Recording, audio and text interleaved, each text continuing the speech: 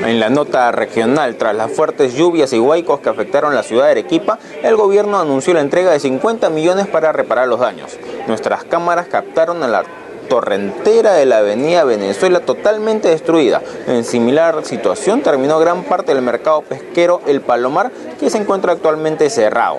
Entre los distritos más afectados está Salaberry con el levantamiento de pistas y veredas.